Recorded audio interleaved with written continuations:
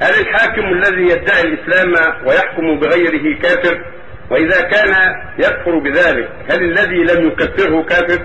تقدم السؤال هذا في الجمعة الماضية فيما يغلب على ظني تقدم الجواب عن هذا وأن أو أنه يحتاج إلى تفصيل لأن الحكام الذين يحكمون بغير الشريعة قد يكونون يزعمون أنهم مضطرون وأن شعوبهم أو دول أخرى تضطرهم إلى هذا وأنهم يؤمنون بأن عملهم باطل وأنه منكر وأنه معصية ولكنهم اضطروا إليه وفعلوه كما يفعل سابقا شيوخ القبائل يحكمون قوانين أسلافهم.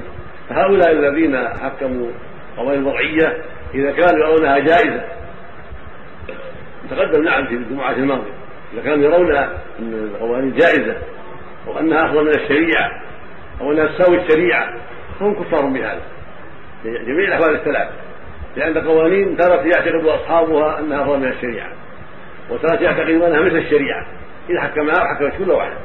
وترى يعتقدون أن الشريعة أفضل وأولى لكن هذه جائزة. لا بأس بتحكيم القول الوضعية. ومن اعتقد هذا فهو كافر. مرتد عن الإسلام نعوذ بالله. لأن من استباح ما حرم الله فهو كافر. ومن تنقص شريعة الله فهو كافر. ومن استهزأ بدين الله فهو كافر.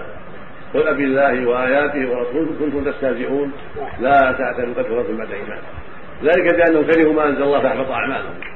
المقصود أن استباحة المحرم المعروف من الدين بالضرورة أنه محرم كفر بالله فرد عن الإسلام.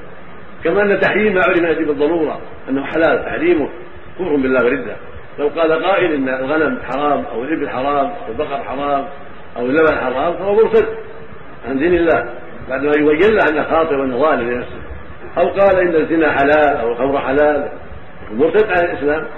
فالذي يقول إن الشرك حلال اعظم كفر وأشر واخبث فالحاصل أن الذي يرى من تحكيم القوانين التي تخالف شريعة الله في أمور الناس إنها جائزة أو إنها من جنس الشريعة أو إنها أفضل من الشريعة هذا كافر عند جميع أهل العلم.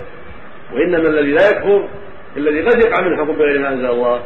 يحكم بعض القوانين لكن يعتقد أنه ظالم وأنه مخطي خاطئ في ذلك وأنه عاصي لربه ولكن حكمها لإغراض وأسباب فيعلم انه وإلا فهو أنه يعلم فهو يعلم أنه ظالم. هذا قال فيه ابن عباس إن هذا ليس كالشرك بالله وليس كالظلم الأكبر. قال في مجاهد وطاووس والجماعة ان ظلم دون ظلم كفر دون كفر. فالحاصل أن إذا لم يعتقد اباحه ذلك وإنما فعله يعلم أنه عاصي وأنه ظالم لنفسه وأن الواجب عليه تحكيم الشريعة فإنه لا يكون كافرا كفرا أكبر بل كفر أصغر وظلم أصغر وفسق أصغر. نسأل الله السلامة.